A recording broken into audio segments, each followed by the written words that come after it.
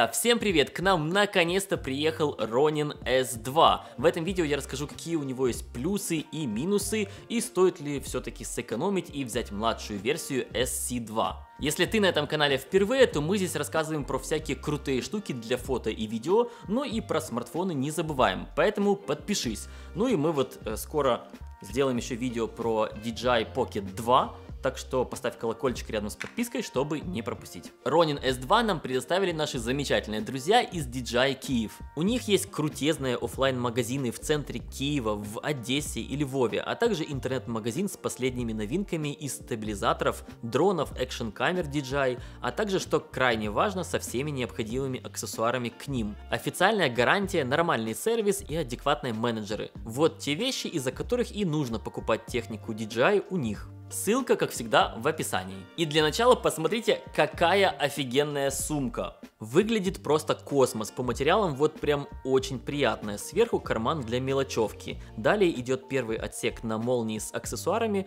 куда помещаются удлинительная рукоятка, тренога, рукоятка с питанием, длинная площадка и короткая площадка. А в верхней части еще два кармана с кучей шнуров для камеры любого производителя. Во втором отсеке на молнии хранится уже сам стабилизатор, закрепленный липучкой. Снизу есть картинка, напоминающая, как именно нужно расположить девайс. Вот все продумали, реально сумка топ и приятно, что она идет даже в базовой комплектации. А теперь посмотрите, как выглядит сам стабилизатор, он же просто секси. Всем, кому его показывал за время теста, прям тащились от его внешнего вида, даже еще не вкусив его реальные способности. Карбоновые поверхности, красная полоска а-ля L-Optica Canon, прорезиненная рукоятка с очень приятными тактильными ощущениями. Такой стаб не хочется даже прятать в сумку, он вполне может украшать ваше рабочее место или служить декором для съемки влогов. За счет новой конструкции и материалов удалось значительно снизить вес стабилизатора и одновременно увеличить полезную нагрузку.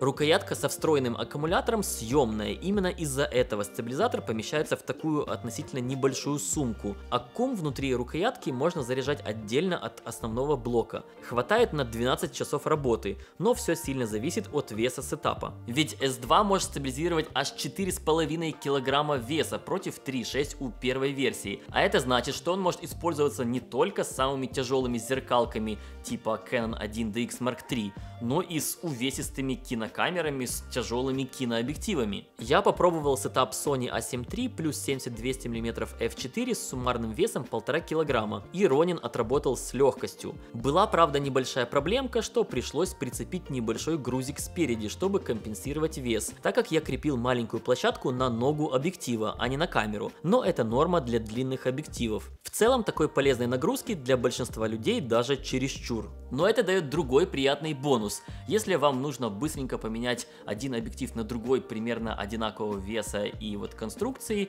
а времени, собственно, калибровать у вас нет, то вы можете это сделать, Ronin S2 это все проглотит и не заметит разницы. Следующее весомое изменение это появление немаленького такого сенсорного дисплея. С ним практически не нужно использовать приложение. На главном экране с вайпами в разные стороны можно попасть в дополнительное меню, где есть тупо все, от настроек моторов до съемки панорам и калибровки. Все это под рукой сделано удобно и понятно без инструкции. И это опять же крайне облегчает и ускоряет работу со стабилизатором. Под мягкой заглушкой прячутся новые порты подключения аксессуаров. В комплекте идет ручка, которую можно повесить справа или слева, на конце которой резьба 1,4 дюйма, которая еще и поворачивается под нужным углом. Зачем это нужно?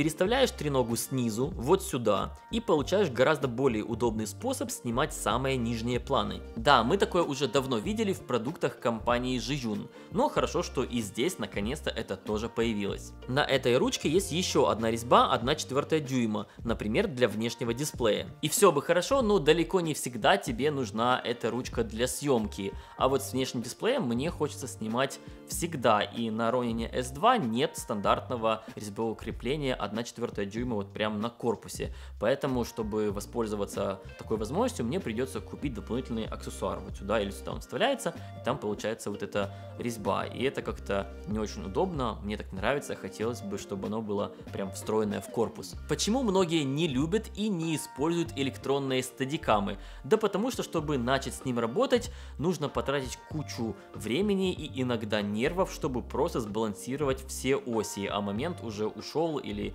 скажем так, в твое вдохновение как видеографа, и поэтому, собственно говоря, люди и не используют так часто электронные стадикамы, как хотелось бы. Но здесь все максимально просто. Инструкция для новичков. Крепим маленькую площадку длинной стороной вдоль камеры.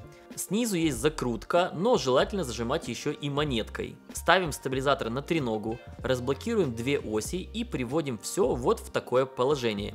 И снова блокируем. Вставляем длинную площадку вот этой стороной спереди и зажимаем крепление площадки. И вот теперь можно ставить камеру, но перед этим обязательно убедитесь, что карта памяти вставлена и на ней есть свободное место. Аккумулятор на месте и он тоже заряженный. Объектив вы выбрали именно тот, на который собираетесь снимать, при этом сняли с него крышку. Если нужно, то надели уже бленду или ND-фильтр. Если у вас зум-объектив с выезжающим хоботом, то установите его на среднее положение и балансируйте именно так. И также откройте ваш поворотный дисплей, если он у вас есть именно в такое положение, с которым вам будет удобнее всего снимать. Если все это прочекали, только тогда вставляем камеру и зажимаем крепление. Теперь разблокируем первую ось. Камера клюет носом, мы отпускаем крепление на длинной площадке и вот этим колесиком сдвигаем вперед или назад, пока не появится баланс. Вот это колесико настолько облегчает процесс балансировки, что я просто в восторге и недоумении, почему раньше до такого никто не додумался, почему раньше всем нужно было возюкать эту камеру туда-сюда с усилием. Все благодаря направляющей снизу площадки, за которую и цепляется это колесо. Как только нашли баланс, зажимаем крепление площадки. Теперь поворачиваем камеру вверх и откручиваем вот это крепление. Точно так же находим баланс, правда здесь уже нет колесика, возюкаем с усилием, как обычно. Как только сбалансировали, зажимаем. Пробуем камеру в разных положениях. Должна никуда не смещаться. Тогда вы все сделали правильно. Теперь блокируем уже настроенную ось и идем настраивать вторую. Отжимаем крепление и камера должна завалиться в одну из сторон. Находим баланс и зажимаем. Теперь можно отпустить все три оси и проверить зависает ли камера в любом из положений. Если таки да, то вы молодец. Все эти процедуры на самом деле очень простые, если потренироваться хотя бы пару раз. Но суть не в этом. Для одного сетапа камера плюс объектив такую полную настройку нужно сделать всего один раз. Далее делайте отметки маркером на всех шкалах, где вы нашли идеальный баланс. Чем точнее вы сделаете пометку, тем проще будет в дальнейшем. Теперь вы просто ставите камеру с надетой маленькой площадкой в большую площадку, подкручиваете колесом до своей отметки и все, можно снимать. Если будете использовать разные камеры, камеры или сильно разные по весу объективы, то можете использовать разные цвета для пометок на стабилизаторе и соответствующим цветом помечать технику. Надеюсь, понятно объяснил. Вся прелесть новенького RS2 состоит в том, что в отличие от стабилизаторов Moza и Zhiyun, в DJI просто-напросто не стали городить огород с выштамповкой места под стабилизатор в кейсе. Здесь просто есть место, в которое стаб помещается с любыми подвижками осей. В кейсах же конкурентов при транспортировке все настроенные оси нужно отпускать и сдвигать в единственное возможное возможное положение с учетом выштамповки. И это вот прям провал, а DJI молодцы. Было бы вообще отлично, если бы и с длинной площадкой все помещалось в кейс. Тогда бы вы просто его достали, тыкнули камеру в единственное возможное положение и поехали снимать. После включения нужно обязательно сделать калибровку моторов. Это делается очень удобно через меню на сенсорном дисплее или нажав кнопку M одновременно с курком. Кнопкой M можно переключаться между тремя пресетами. По умолчанию это когда идет слежение только по одной оси, по двум и по трем. Каждый из них можно изменить. Скорость и жесткость слежения или же заменить вообще на другой. Например, кастомно настроить, какие оси заблокировать, а какие оставить. Режим 3D или портрет. С другой стороны, это не особо-то и нужно, ведь дважды нажав на M, переходим в портретный режим. Трижды М в режим 3D. Интересно, что вы можете вообще все три режима сделать с одинаковой блокировкой осей, но, например, для разной динамики движения, супер плавной, средней и быстрой. Кроме этого, если просто зажать М, вы переходите в спортивный режим, когда стабилизатор очень быстро реагирует на все повороты. Отпустили кнопку, вышли из него. Чтобы остаться в спорт режиме, сначала жмем М, затем два раза клацаем на курок. Теперь можно все отпускать, вы на спорте. Чтобы выйти из спорта, проделываем все это еще раз. Подключив комплектный шнур к своей камере, в зависимости от модели вы получаете возможность управлять некоторыми параметрами, самый главный из которых это, конечно же, старт-стоп записи. К тому же здесь в кнопку встроена еще и функция полунажатия для автофокуса, прямо как на спуске затвора камеры. Колесиком над курком также можно управлять другими параметрами, фокусом в ручном режиме, ISO, выдержкой и диафрагмой. Но конкретно с Sony A7 III работает только фокус и старт-стоп. Поэтому на колесико я поставил изменение угла наклона. Так можно очень быстро изменять угол съемки или просто делать более динамичную съемку, крутя его прямо во время видеозаписи. В приложении появляются еще дополнительные возможности, вроде управления поворотами с помощью гироскопа смартфона, наглядное проставление точек для автоматического панорамирования, съемки motion таймлэпсов и панорам. Также здесь появится режим трекинга с помощью телефона с прокомплектацией, а также возможности фокус-пуллера. А еще вскоре должен появиться в продаже лидар вместе с фоллоу-фокусом и с прокомплектацией. Это даст возможность получить автофокус на мануальной оптике любого производителя и, внимание, даже с выключенной камерой.